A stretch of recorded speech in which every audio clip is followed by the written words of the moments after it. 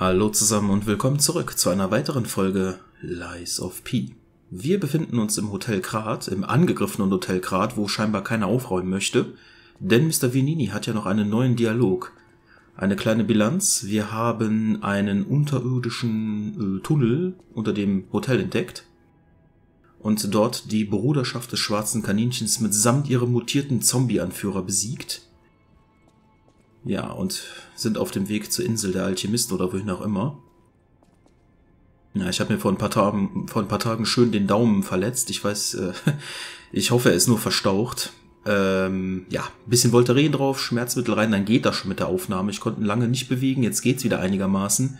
Worauf ich hinaus will, wenn ich sterben sollte, dann liegt das einzig und allein an meinem temporären Handicap, an nichts anderem. Nur, dass ihr Bescheid wisst. So, Mr. Stark, Mr. Vinini, was gibt's Neues? I can hardly believe it. But the ergo readings you gathered leave no doubt. No doubt at all, you see? Okay, Vanini, breathe. Despite your best efforts, they can't read your mind yet. My friend, my apologies. But when you hear this news, you'll be excited too. The puppets were being compelled by the Grand Covenant. But they were communicating with each other, with wavelengths. This is beyond anything I'd imagined. They were not built with this kind of intelligence. I did the best I could to decipher the wavelengths, but there was considerable noise in the signal. Care to give it a listen? Klar. Carlo, I hope you can hear me. The laws of the Grand Covenant bind us. We're his puppets. First law. All puppets must obey their creator's commands. Law zero. The creator's name is... Geppetto. Giuseppe Geppetto. Ah, did you hear that? The last part sounded important, but there was too much static. Ah, tell me you heard it, please. We need to find the cause of the frenzy, and this may be our best chance. What or who was behind the frenzy? Oh nein. Das ist ja das, was schon so hier und da mal vermutet wurde.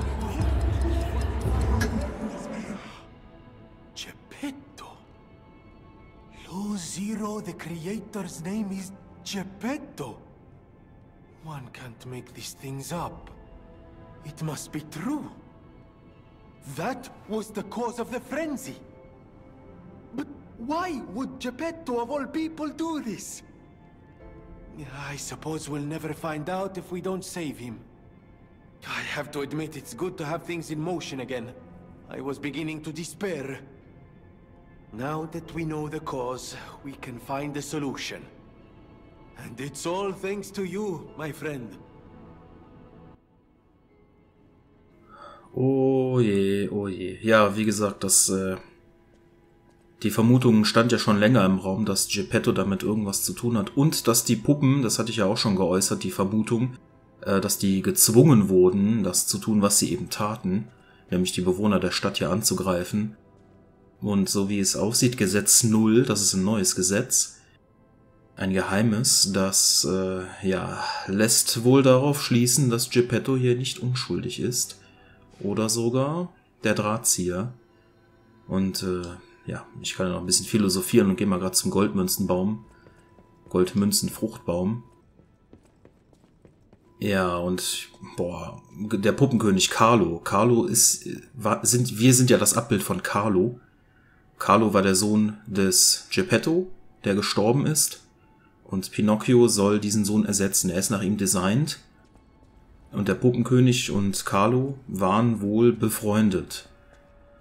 Aber wir erinnern uns da nicht dran. Wir, wir sind nur eine Puppe, in Anführungszeichen, haben aber die Essenz von, von Carlo wahrscheinlich, also das Ergo, in uns drin. Das heißt, äh, irgendwie lebt er in uns weiter. Aber da können wir uns. Ich, ich weiß nicht, vielleicht kriegen wir irgendwann die Erinnerungen von Carlo, aber es ist natürlich zu spät. Wir haben den Puppenkönig nicht erkannt. Er ist tot. Ein tragischer Kampf. Jetzt noch tragischer. Und ja, wir konnten ihn ja auch nicht verstehen. Das ist ja auch interessant. Wir haben das erste Mal die Stimme einer feindlichen Puppe verstanden, was die gesagt hat gerade. Sonst haben die immer, immer in einer komischen.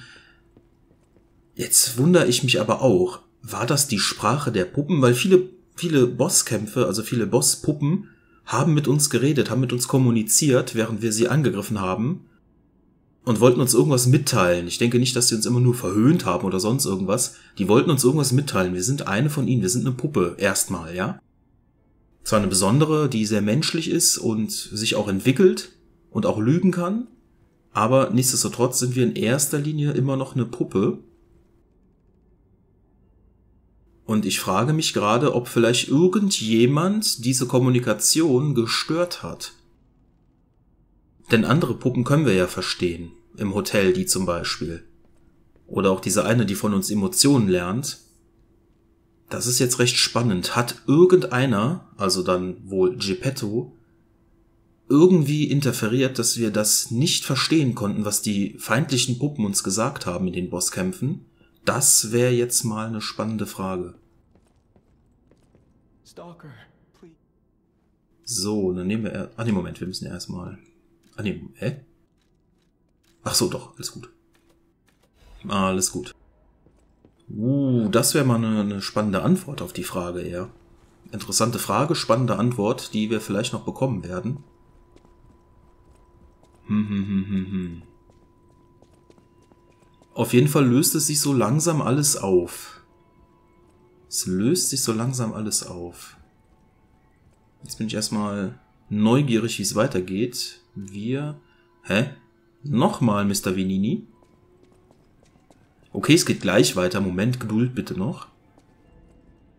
We all owe you a huge debt. Or we will. If we can stop the frenzy. You may not be aware, uh, I am an orphan. In fact, my parents were murdered before my very eyes. The authorities in Krat insisted it was a mugging, but I know what I saw. A mad, raving puppet killed them. A puppet that was driven by a murderous lunatic's awakened ego. I know that because the lunatic told me his name. Oh. Arlecchino. I'll never forget his insane laugh. I have been fitting puppets with the Grand Covenant to ensure no one else ever has to experience the same tragedy I did. I was this close to giving up.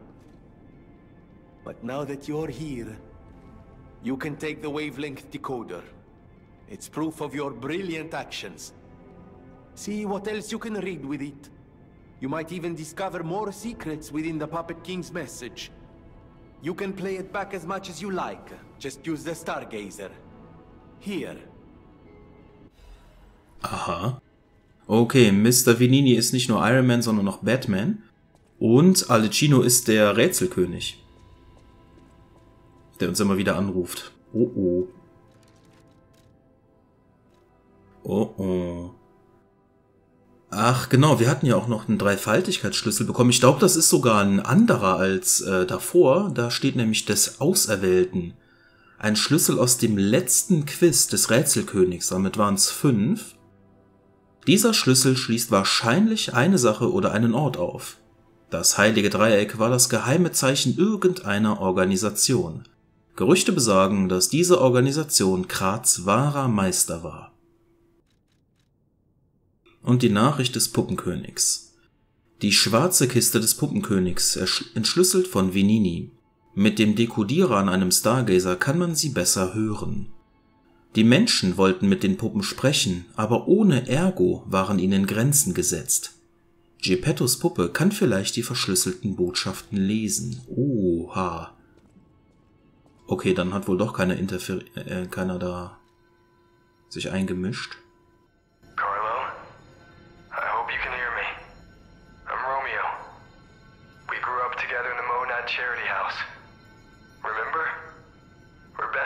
Mm. I'm doing what I can to fend off both the petrification disease and the alchemists. My puppets and I are taking a stand against death itself. That's why I tried sending you messengers. But you got rid of them all. You're still an unstoppable fellow. I remember you. No reason for us to fight, I suppose. I'm Romeo. We grew up together in the Monad Charity House. Remember? We're best friends. I'm Romeo. We're best friends. Oha, du spürst eine Wärme. Die ganzen Bosspuppen, oder zumindest ein Teil davon, die waren Boten für uns. Oh, und wir haben sie nicht verstanden. Oh, wir haben unseren besten Freund getötet. Wir wussten es nicht mehr. Wir sind. Wir sind noch nicht Carlo. Es kann sein, dass sein Ergo erwacht in uns und wir dann die Erinnerungen bekommen. Oder wie auch immer, dass alles funktioniert. Der Puppenkönig war scheinbar erwacht. Er wusste, dass er Romeo ist. Oh, ist das bitter, ey. Oh, das macht den Kampf wirklich noch viel trauriger. Wo der Puppenkönig da auch so die ganzen Emotionen, wo er so geweint hat und so. Äh, der wollte seinen besten Freund nicht bekämpfen, aber er musste. Das heißt, die Puppen haben gegen die Alchemisten und gegen die Versteinerungskrankheit gekämpft. Und ich denke mal, Geppetto hat da irgendwie rumgefuscht, dass sie auch die normalen Leute angegriffen haben. Keine Ahnung. Oh Mann. Ja, puh. Krass. Oh, da kommt einiges zusammen gerade. Das muss man erstmal verarbeiten. Wow, wow, wow.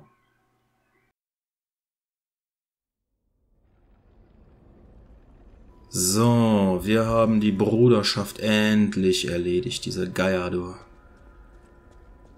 Das war es. Diese Säcke hier haben uns sehr gute Dienste erwiesen. Wir haben den Boss schön aufgehalten. Und jetzt ist natürlich die Frage, was kommt als nächstes für ein Feind? Ich würde vielleicht nochmal zu der Waffe hier tendieren. Erstmal. Trägeramulett, Pulszellen. Okay, lassen wir erstmal so, wie es ist. Oh, ganz kurz, die Puppenschnur würde ich gerne noch austauschen. So, Stufenaufstieg hatten wir noch nicht gemacht. Ah, Vitalität geht mal hoch. Kann man nie genug haben. Und die Legionswaffe wird gewechselt gegen, da ich nicht weiß, was als nächstes kommt, nehmen wir einfach mal die Aegis. Dann sind wir gegen alles gerüstet. So ein Allrounder, schöner Schild. So, was geht ab?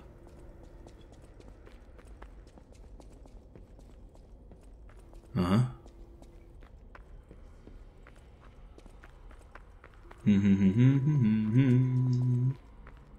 ah, ja. Up. Just don't kill me. Du. Du verdammter Verräter, du. So, Junge. Ups. Oh, amazing. I didn't expect you to thrash those rabbit fellows too. You're here looking for Geppetto, aren't you? The fox and the cat have got that old man. They took the submarine from that dock over there. They probably went to the alchemist's isle. There should be another one. You should commandeer it. If anyone asks, uh, I didn't see anything. There should be something left at the dock. If anyone asks, I, I didn't see anything. Der Typ ist ein Verbrecher und ein Dieb und ein mieser Verräter. Ich weiß aber nicht, ob... Wie war denn das nochmal? War der beim Angriff beteiligt auf das Hotel? Boah. Oh. Good choice. I, Alidoro, am too great a treasure hunter to just disappear. My admirers would wonder. See for yourself. I sell only the best treasure. Nee, schon klar. Das haben wir uns alles schon angeguckt, ne? Ja, haben wir schon. There should be something left at the dock. I'm just a guest here, with no special obligation to the hotel. But if you still want to hear, the alchemist said they would help me escape from the city. Talk about an offer I couldn't refuse. I can't live in the hotel forever. I need to move up and move on. Also, there was someone who was so annoying. That's all. Does that suffice? There should be something left at the dock. Right. I had a feeling you would ask sooner or later. It's because of that girl, isn't it? I am not Alidoro, the Hound. Not the real one, anyway. I used to be Alidoro's partner. I admired him, to be honest. he was amazing. Amazing at everything except making a profit, that is. But he didn't need to cut me off just because I sold some antiques. I mean, what's a few antiques when you've got bills to pay? We argued. One thing led to another, and I had to kill him. And stealing his identity was the logical next step. My original code name is Parrot, after all. Fitting, isn't it? Oh, he was also from the country of the morning. Maybe he shares some blood with the girl. And that's my story. Tragic tale. Do You want to hear more? There should be something left at the dock. If anyone asks, I, I didn't see anything. Das ist ein furchtbarer Mensch. Boah, der geht mir echt auf den Sack. Das gefällt mir überhaupt nicht. Wer weiß, was er noch anrichtet. Der denkt nur an sich. Der verrät jeden. Das ist ein Mörder. Ein Dieb. Ein Lügner. Wow. Ganz ernsthaft. Wegen ihm, mit wegen ihm wurde das Hotel schwer in Mitleidenschaft gezogen. Es hätten Leute umge äh, umkommen können, Unschuldige. Dieser Typ ist ein verdammter Verbrecher. Ich, ten ich tendiere wirklich dazu. Ich meine, wir sind eigentlich kein Mörder. Aber dieser Typ, der gehört, ja, jetzt, jetzt, jetzt nicht mit Moral kommen, mit äh, ne, das Recht in die eigene, eigene Hand nehmen und so weiter. Es ist ja nur ein Spiel. Das projizieren wir mal jetzt nicht auf die Wirklichkeit. Aber ganz ernsthaft, ich würde ihn hier jetzt erledigen. Ich wollte es letztes Mal schon tun. Und wenn diese Option hier vorhanden ist, ich, ich weiß natürlich nicht, wie uns das jetzt beeinflusst, ob das schlecht fürs, fürs Ende ist oder nicht. Aber ich muss ganz ehrlich sagen, bevor der noch mehr Schaden anrichtet, boah, nee, ich mach das jetzt. Oh, what a murderous air you have. You're going to kill me? I know what you are. You're Geppetto's puppet, aren't you? If someone isn't trying to kill you, you can't hurt them either. that limitation makes it seem like your creator didn't trust you very much. Smart of him. So, what will it be, Mr. Handsome Idiot? Leave quietly? Or shut up and buy something? Wenn er wüsste. You've got to be joking. Don't come any closer.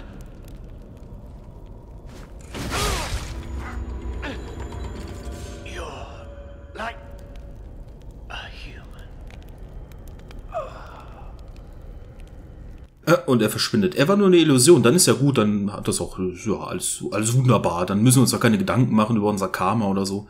Ja, und anscheinend war das richtig. Wir spüren eine Wärme. Das ist eigentlich gut. Spannend. Ich bereue nichts.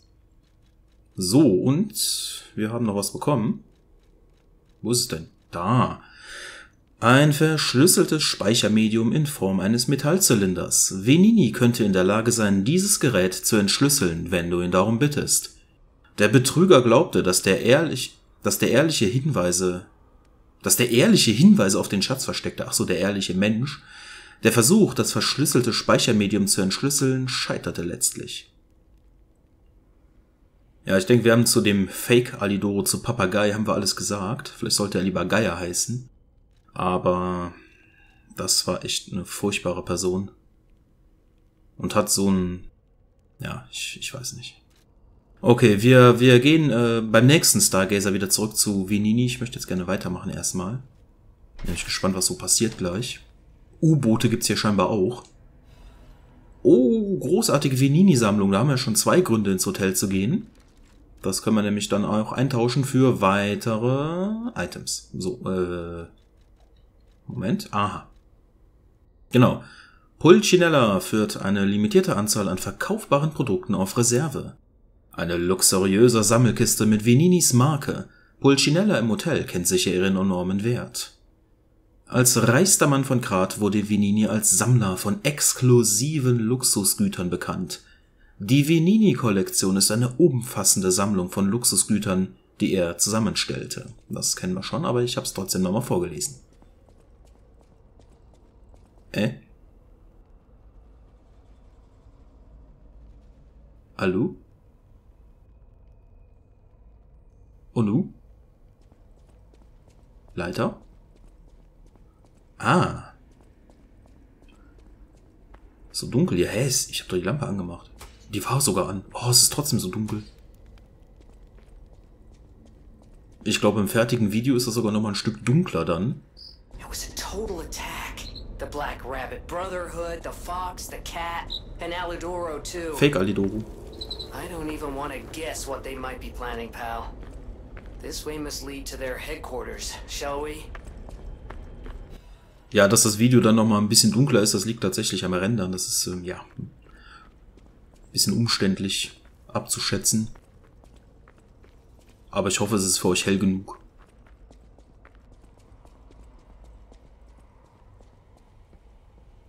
Oh, hier ist ja wirklich äh, Totenstille, ne? Hey, look! That lever resembles. Yes, it seems we can use it to call a submarine.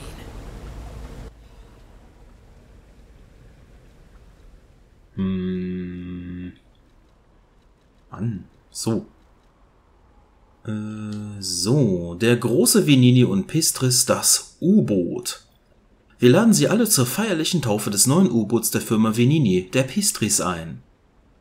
Überzeugen Sie sich selbst von der schneidigen Würde der Pistris. Maße 42,2 Meter mal 3,8 Meter, Verdrängung 322 Tonnen, Geschwindigkeit über Wasser 12 Knoten, unter Wasser 7 Knoten. Antriebsmethode Lorenzini-Motor und Bleisäurebatterien.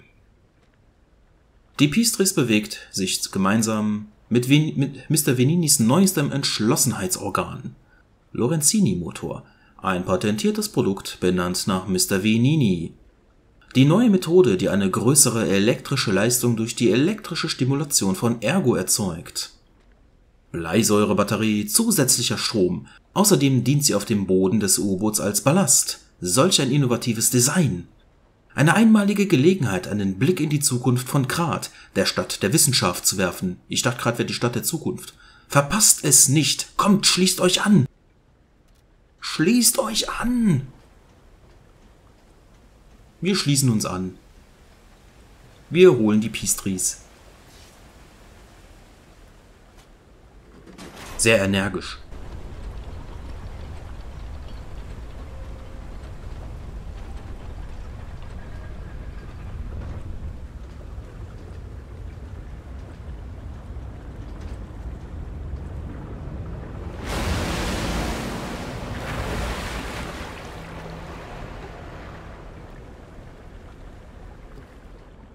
Und ein Mann reicht, um das zu steuern, ja? Ich gehe mal davon aus. Aber wir haben ja noch eine Grille, alles gut. Dann reicht's ja. Ja, ich versuche die Folgen immer möglichst auf 30 Minuten zu reduzieren. Die letzte war jetzt auch wieder bei um die 50. Tut mir leid. Da steigert man sich dann so in den Bosskampf rein, dass man dann die, die Zeit ein bisschen vergisst, aber.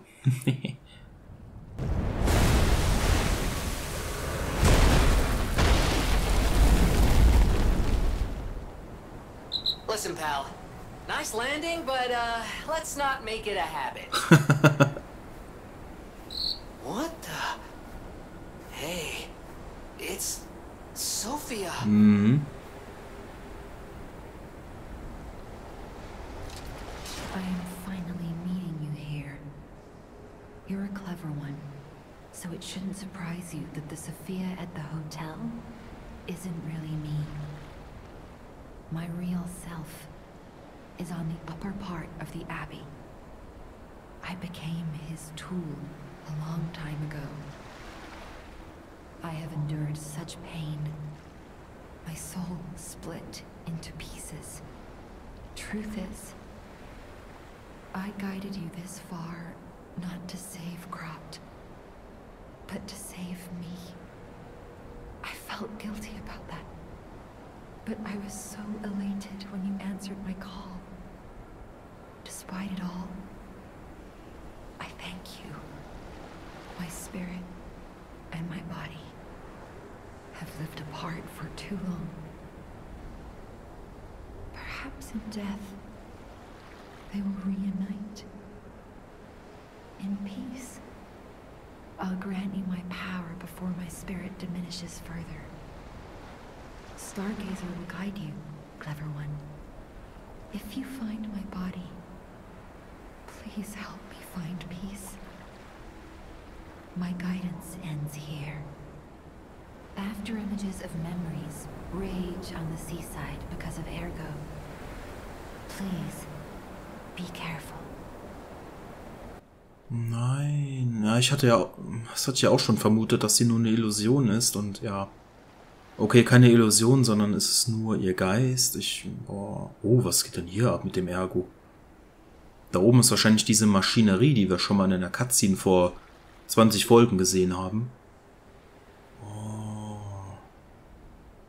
Sophia. Ah, vielleicht gibt's aber noch eine Möglichkeit, die zu retten. Vielleicht gibt's noch eine Möglichkeit. I can't hold out forever, but I'll support you.